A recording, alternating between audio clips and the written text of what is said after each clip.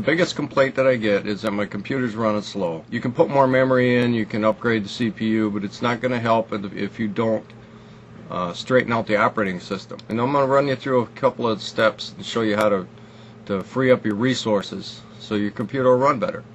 Um, this is something you can you can do once a month or once every few months or whenever you see it running slow again, and it really helps. It's a it's the first thing I do when I work on a computer is, is to do these steps.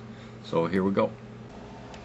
Okay, so first thing I want to do is click on Start menu, click on Run, type in msconfig, and hit OK. That brings up your system utility configuration. click on the Startup tab, and then you, you'll see all the things that are checked in here are the things that starts when Windows start. And a lot of you are going to have tons of stuff in here. Some of the stuff you need, some of the stuff you don't.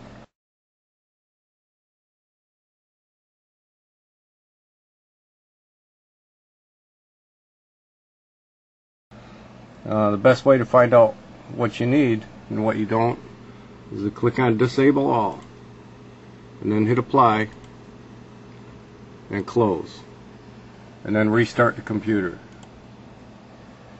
now that's going to turn off everything that starts when your computer starts. Now after you reboot you're going to get a system config utility pop-up screen. And uh, what that basically tells you is that you've made changes to your system configuration and it's letting you know about it. And you want to put a check mark in this box saying that it's okay that you made the changes and you want to continue on with that. So you click OK and that'll that'll save your what you've done. And down here you can see that the only things that start is the power settings your uh, your speaker and your internet connection everything else is gone you're going to go back to start back into run type msconfig click OK. You're going to go back into your system configuration utility, click up the Startup tab, and then start checking on the things you absolutely need. And if you're not sure what you need, put your mouse up here and see how the cursor changes. And once it changes like that, hold down your left mouse button and you can drag it across to open up.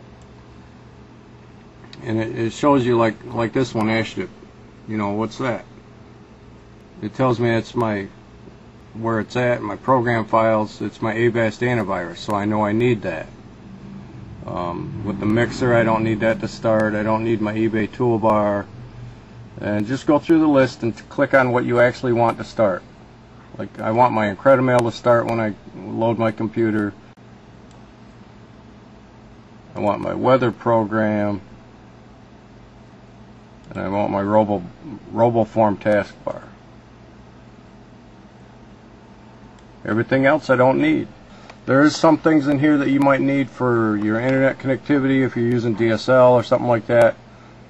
Um, if you find out that something's not working, you just go in here, open that up, find out where it is, and turn it back on. Click apply again, close, and then restart the computer. And then remember, you always get this up here showing that you made changes. You got to click in that box to see that it's okay that you made the changes and then click OK now all the stuff that I that I told it I wanted shows up down here my RoboForm email weather now some of those programs it might take you you know if you want your MSN Messenger your Yahoo whatever if you have to use Yahoo um, and Yahoo's gonna hate me for this but they if you put Yahoo and AOL on your computer, it really steals a lot of resources. And uh, if your computer's running really slow with those programs running, then you probably do need to add some more memory, at least 512. And uh, have a good day. Thanks. Bye.